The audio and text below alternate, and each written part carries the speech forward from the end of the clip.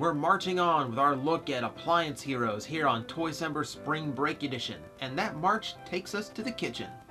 Now to this point, it's pretty much been universal. These are appliances pretty much anyone is very familiar with.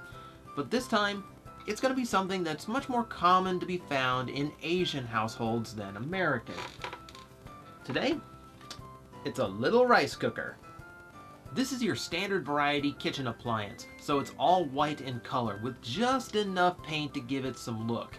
Most of the black is molded parts, and the blue is used sparingly just to break things up. It's pretty plain looking, but to its credit, it's the best at maintaining its looks all the way around. Plenty of panel lines, but it looks like what it is all the way around. And as a bonus, it comes with a rice scoop. There's no place to store it, but hey, they were thinking.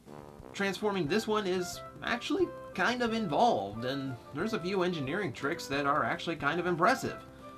And with how shoddy the plastic is, maybe not the best of ideas. In robot mode, he forms a pretty round but solid looking bot, with few new details exposed and a bit more gray and red in the mix. Yellow's added as well, most notably in the head. This one's got a strange RC and Optimus Prime's fanfic baby motif to it, and he constantly looks surprised. He does nice for articulation, with universal shoulders and hips, elbow bend, and even some ankle tilts. He should have knees, but unfortunately the slides in his transformation keep that from happening.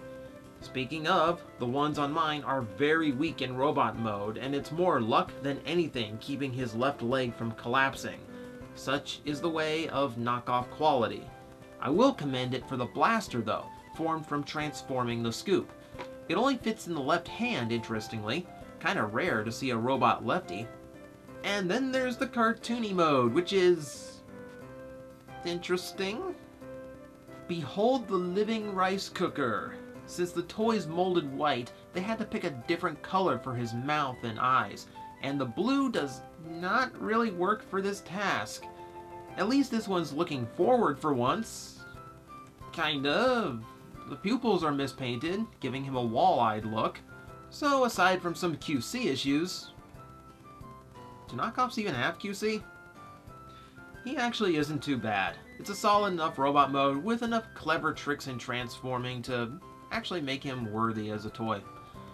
But we've only got one to go. When we open tomorrow's present, we end big, and we finish the entire toy line.